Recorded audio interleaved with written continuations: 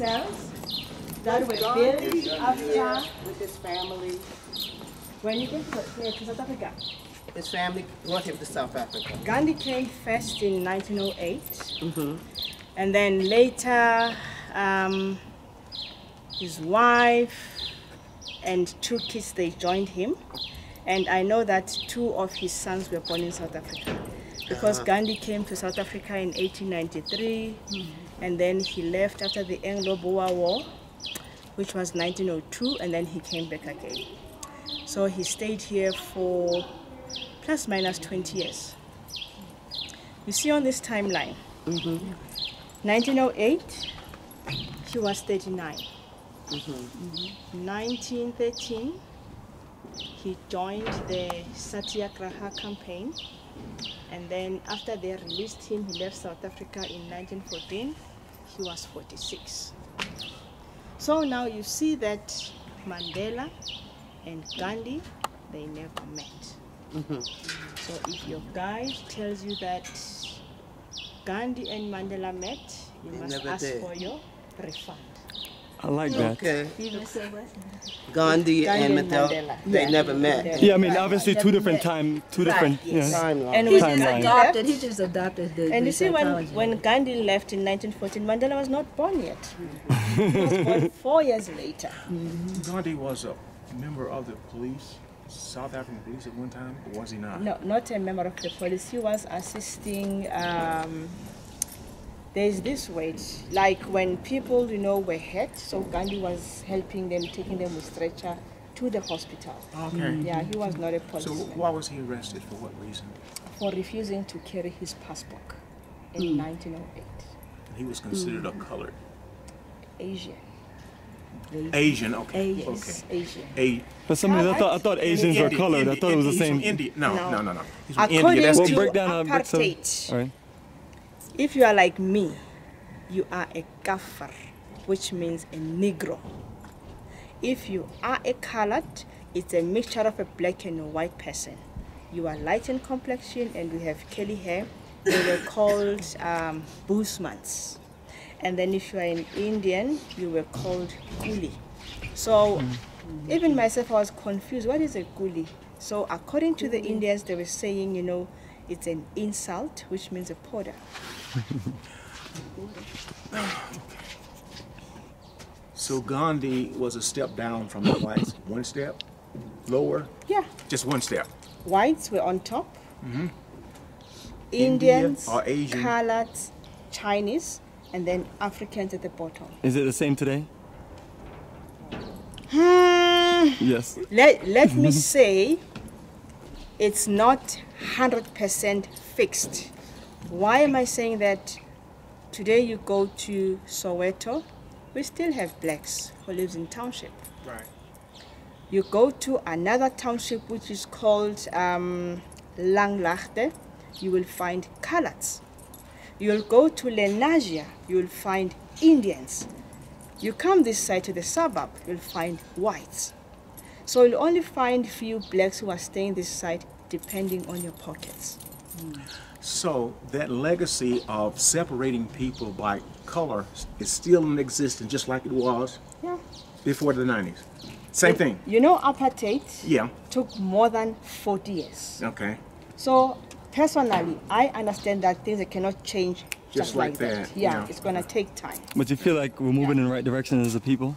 Yes, we are because before you couldn't live in Soweto and attend school in one of the multinational schools, but now you can, depending, you know, how much money do you have.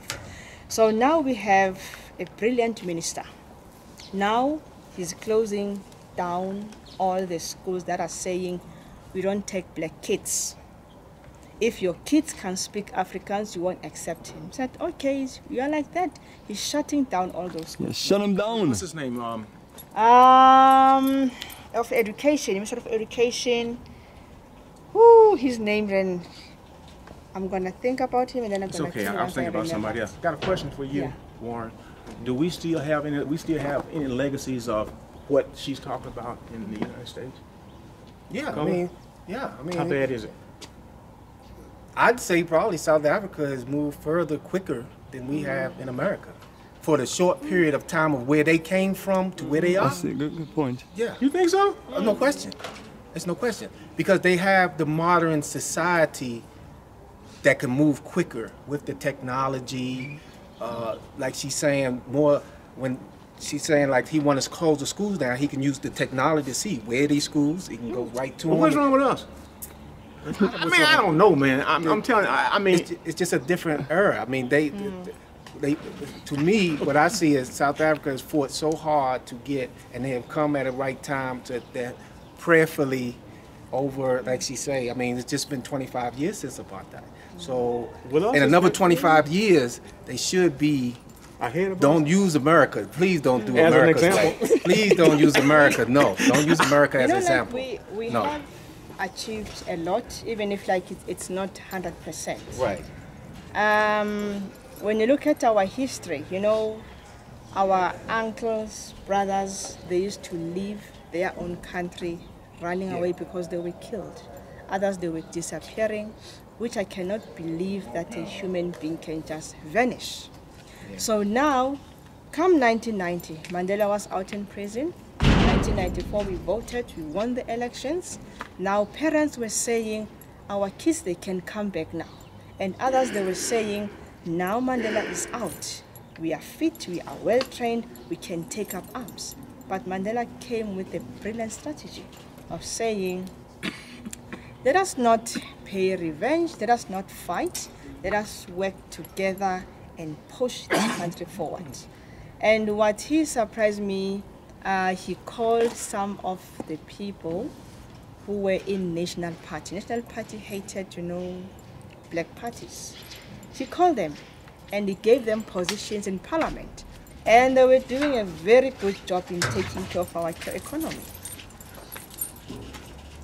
You see, so I'm not sure if everyone was happy about his decision. Yeah, that's what I'm getting ready to ask you. Yeah. How uh, you And- approach that.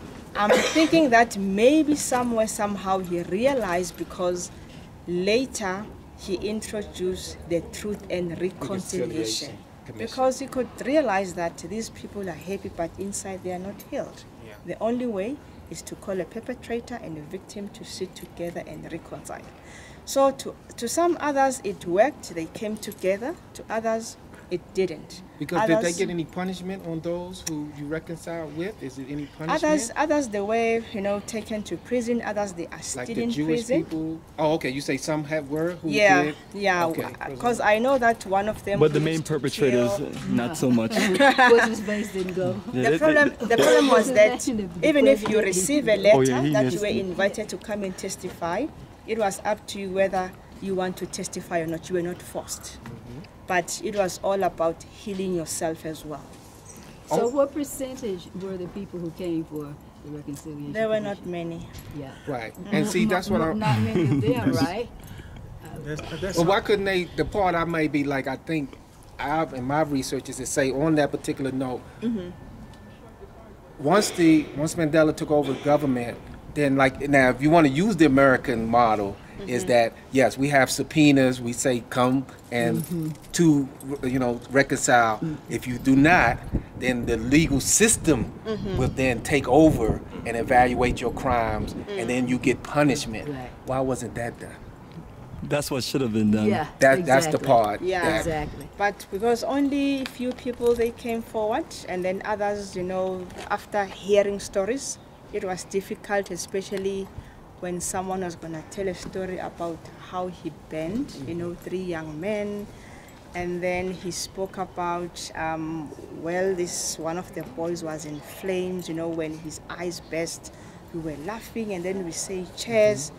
And then he didn't even show remorse, you know, on his face. So they took him straight to I prison. think Still I think as blacks we got. Well, see, I think we're that's too forgiving. We, Still- we too, Yeah. You remember the the, the, the, the, Yeah, the trial a few weeks We ago? We are too soft. You know, I mean, when, the, when, when the brother goes up, got hugged and defended. I Remember know. that? Yeah, yeah. Yeah, we have in America, Speak yeah. of that mess. Yeah, we have. really. But this Yeah. is this, this is us as Africans though. This is this is mm. our we are we, We're are too- But it's part of our as Africans. But we have to figure a middle ground. Yeah, we're, we're people with a soul. Yeah, and, and we, we have forgiveness in our soul, but mm. others don't. But we need a middle ground because it's just but there's too no much. response though from them. I mean, it's not going to ever be any Never a response. response. They're We not Too gonna ever- forgiving. Yeah, we we want to be friends with everybody. no, I It's mean the, because the we were others. taught by our parents, our great grandparents. Right, it's a generational, a historical thing for us. Yeah. But I think that the, the, the Mandela Mile, I mean, it was the best. Only that was my only critic, criticism. Yeah. That when the reconciliation come, mm-hmm. it's like in America, if you do not come, mm-hmm. then criminal, Yeah, yeah. you you know, Yeah. the criminal mm-hmm. system takes They'll over. get you.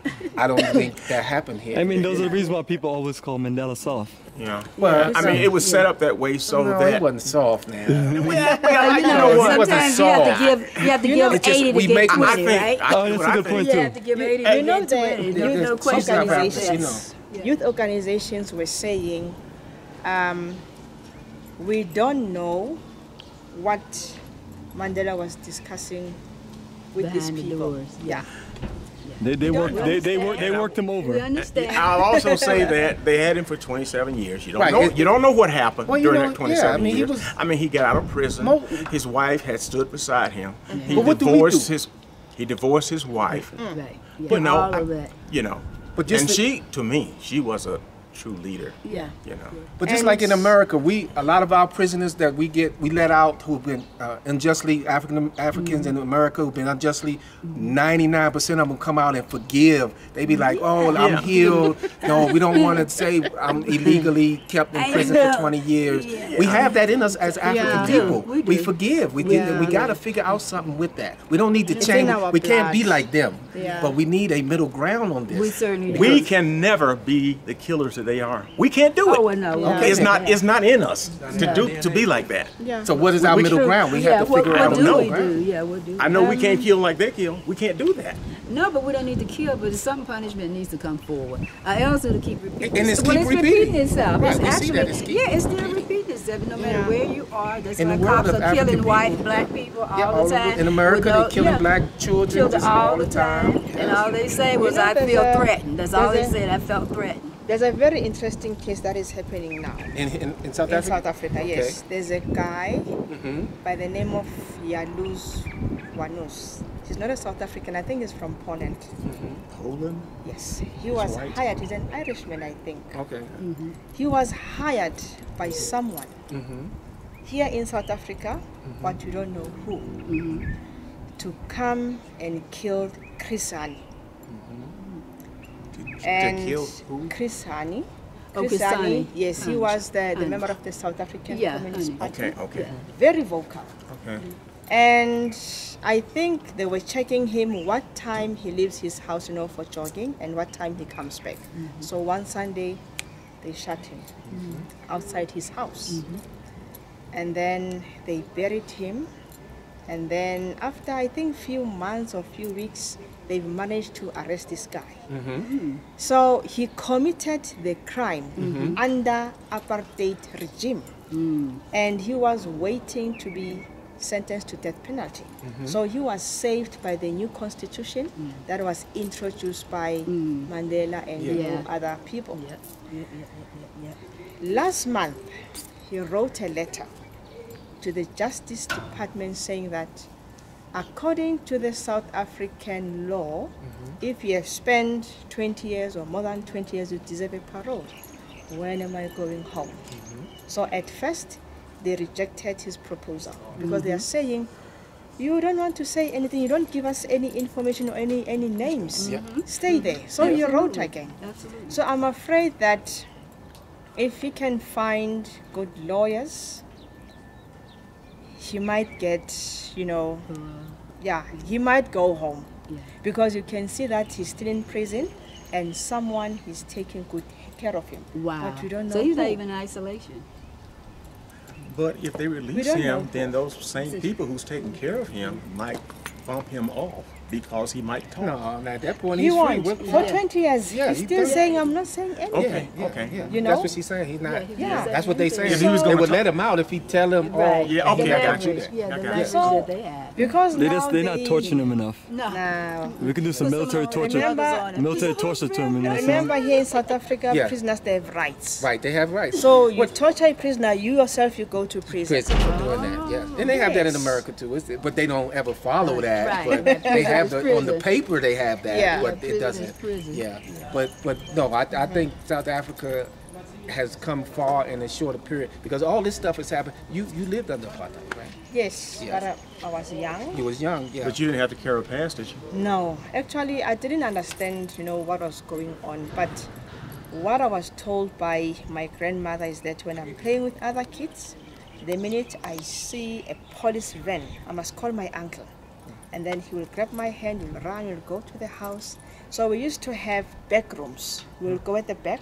Mm-hmm. I will open the cold box. He mm-hmm. will go inside. I will lock it and mm-hmm. sit on top. Then I will sing. You know, I did that up until I was 12 years, but I didn't know why. The way it was on the part uh, apartheid in the South in Jim Crow, they didn't care about the kids playing together. Yeah, I used to play with little white boys all the time. Nobody cared. You know, like six, seven, eight years old. Nobody cared. But once you reach a certain age, you could it- all- understand the yeah, all that. Yeah, all that had to cease. Yeah. Yeah, That had to cease. age. Yeah, Like, like, like a teenager. Yeah, Yeah, like like a teenager, puberty. understand. yeah, hmm all that had to quit. But as long as you're a little kid like that, they couldn't care less. Nobody cared. Nobody paid any attention to it. Yeah, because from 12 years they were arresting kids, Yes, sometimes right. 10. You said in the laws, the laws. Like at that. the women's um, section, um, kids they were arrested from the, the age of you know 11, 12, 12, yeah. during the uprising. Yeah. So Winnie was the one who fought for them. Right. She was always fighting, you know, with the captain saying that you need to release these kids because at night you don't sleep. They are always crying. It's cold in this place in winter. Yeah. So they were released. Yeah. Well, you, I thank you. you it's Yes, excellent. really. Yeah. All right. Um, do you want to watch the Gandhi exhibition or we just go straight to the court? Let's go straight to the court. Yeah. No, We gotta go. Hey, come on, the hell with Gandhi. we are even scared to climb the, the ladder.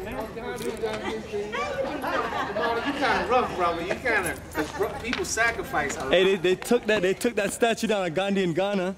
Yeah. Dr. Obadele yeah, I Kambon. Kambon did his thing, man, and, and, and, and pointed it out. I saw that. Once he did that and he was explaining, I was like, yo, man, where, why is this person? So I'm, I'm starting to think about this right here. right Well, when you, when, when you heard that in Pretoria, they took down one of his statues. Yeah, it's just, you know, it's. Uh, Did you go to the museum, Vermont? Did you go to the museum? oh, oh, no, that In one. there, you would think they were best buds. Everything in there, them together, as if they were best buds. Like they lived together. Unbelievable. And real propaganda. Real propaganda. It's amazing in there. You can tell who put some of the stuff together.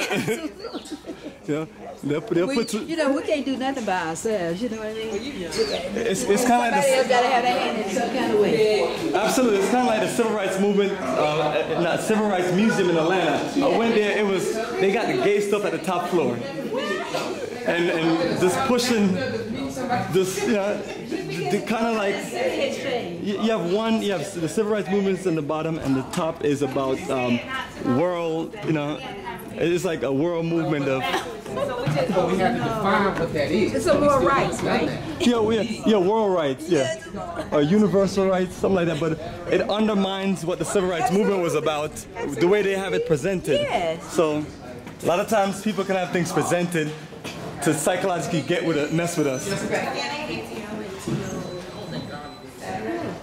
So, family, that was very, very educational, and that's what we're about. We're about educating and uplifting ourselves. Straight up, straight black empowerment all day, every day.